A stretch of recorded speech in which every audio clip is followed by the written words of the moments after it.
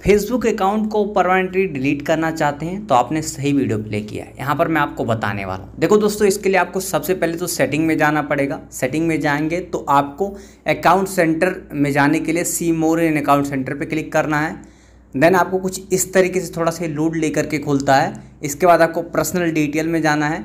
यहाँ पर ही नीचे ही आपको अकाउंट ऑनरशिप एंड कंट्रोल देखने को मिलेगा। सो इस पर आपको क्या करना है? क्लिक कर देना है। इसके बाद सेकंड ऑप्शन डीएक्टिवेशन और डिलीटेशन पे आपको क्लिक कर देना है। इसके बाद आपको फेसबुक का अकाउंट डिलीट करना है तो पहले वाला आपको सेलेक्ट कर लेना है। देन दोस्तों, आपके सामने दो ऑप्शन आएगा, एक टेम्परेरी एक परमानेंट आपको परमानेंट करना है तो सेकंड ऑप्शन चूज़ करना पड़ेगा। कंटिन्यू पे आप क्लिक कर दीजिए। इसका फिर से कंटिन्यू पे क्लिक कर देना है। इसके बाद दोस्तों, आपको एक रीज़न देना पड़ेगा। तो यहाँ पर कोई भी आप रीज़न दे दे सकते हैं तो मैं यहाँ पर सेकंड वाला दे देता हूँ। देन कंटिन्यू पे क्लिक करूँगा, फिर से एक बार कंटिन्यू पे क्लिक करना पड़ेगा।